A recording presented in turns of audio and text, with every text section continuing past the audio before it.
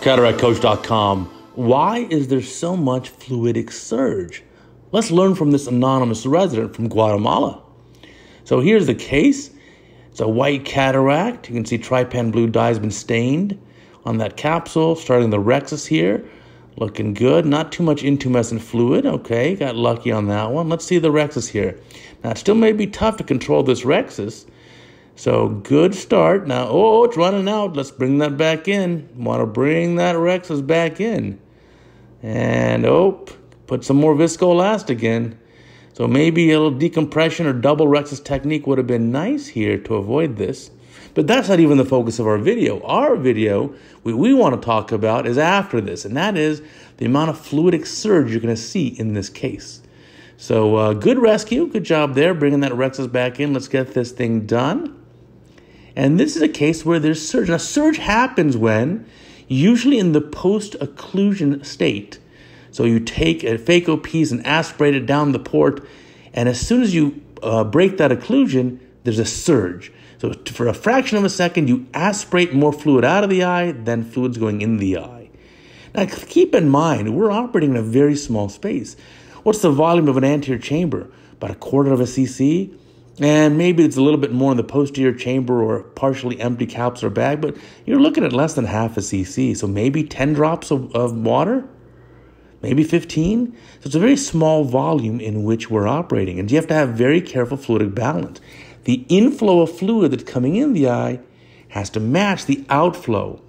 If, for a fraction of a second even, the inflow is insufficient and there's a little more outflow, you'll see the surge. And so, modern phaco machines, we've limited this to a large degree, but still, if your settings on the machine are inappropriate, you can still have surge. So, what I want you to watch is this case as we as the, this resident does the phaco, you're going to notice there's going to be a lot of surge in here and you'll see that bounce within the anterior chamber. The iris will snap back and forth. The posterior capsule will come forwards. And you have a much higher risk for capsule breakage. So here comes a big chopper or hook, and then phaco probes in the eye too, rotating the nucleus a little bit. Yeah, with an intumescent lens like this, it should rotate pretty easily. Aspirating out some of that lens cortex. Let's see the technique here. Chopper going around the lens equator and nice chop, very nice chop. So the chop worked great. But remember, the, this surge is going to happen when we start removing these quadrants. And so the chop's doing uh, going very well. This resident's doing a fantastic job. Good job on the chop for sure. And then rotating it again and again, a few more chops. So, and there it is complete. Now watch this. As the phaco pieces are removed, look at the bounce in the anterior chamber. Look at the iris. Oh, look at the bounce of the capsule, the cortex coming up. That shake or that bounce within the anterior chamber, that surge, fluidic surge. See, as the pieces are occluded on the tip and then they break the occlusion, right after that piece is aspirated, look what happens. You'll get shallowing of the AC. Posterior capsule comes up, the iris comes down a little bit. This means your fluidic settings are mismatched. You got to fix that. For some reason, your inflow's not enough and your outflow's too much. So the inflow not enough could be the bottle height or infusion pressure, or maybe there's a kink in your inflow tubing. Look at that surge. For, or there could be too much outflow. It could be leaky incision, which doesn't appear to be the case too much, or it could be your settings are inappropriate. You have a low infusion pressure, low bottle height, but yet you have a huge or high aspiration flow rate of like 60 or 80 cc's a minute. And so watch, this last piece goes down, and again, there'll be a tremendous amount of surge. So as the piece goes down, it's post occlusion surge. Watch carefully. Look at that bounce in that anterior chamber. This is high risk for, for breaking the posterior capsule.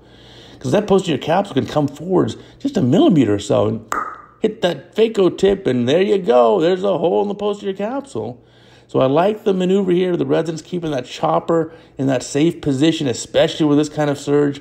But this is a situation where you got to revisit your settings. These settings are just not appropriate. You know, the machine, if you look carefully at your tubing, and we've gone over this, by the way, in our Phaco Fundamentals 10 part series. If you don't know what I'm talking about, boy, you better go to cataractcoach.com and look that up. So, the Phaco Fundamentals tells us that if you look at the tubing, the inflow tubing and the outflow tubing that go to your phaco handpiece are different. The inflow has thinner walls, it's more flexible, and it's larger bore. The outflow is smaller bore and the walls are very rigid. You can't even pinch it it's closed with your fingers.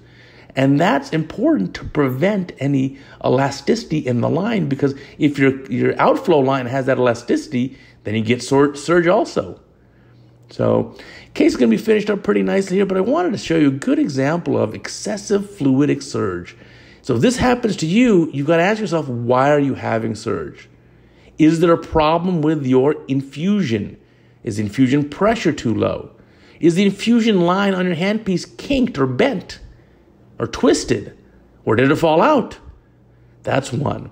Or ask yourself, is there too much outflow? Are my incisions too leaky? We showed you that case as well just last week.